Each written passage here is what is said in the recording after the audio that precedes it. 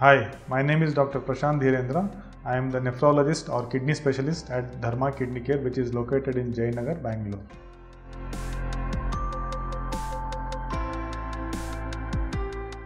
There are two important types of kidney disease, two important groups of kidney disease. One group is what we can call as acute kidney disease, the other one what we can call as chronic kidney disease. Acute kidney disease it develops over hours or days or maybe even weeks.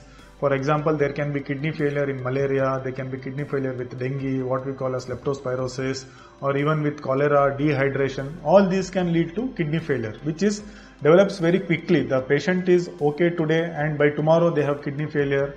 and once we manage the underlying cause, once we manage the underlying malaria, underlying dengue, or the underlying dehydration, the patient's uh, kidney function improves.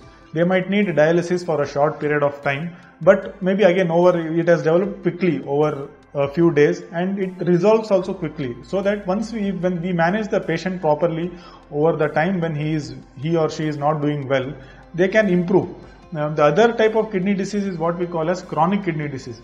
Chronic kidney disease is one which develops and progresses over years or even decades. And the important causes of chronic kidney disease in our country are diabetes and high blood pressure.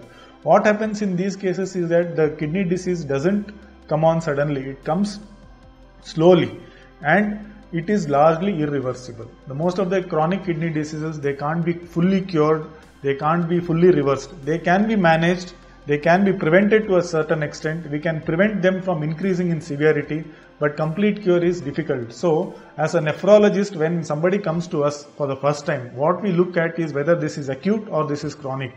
If somebody is having a chronic problem, then we have to look how to manage the patients over a very long period of time. And if they are having uh, acute kidney problem, then what we have to concentrate on the problem at hand, and most likely they will come out of the illness over a short period of time.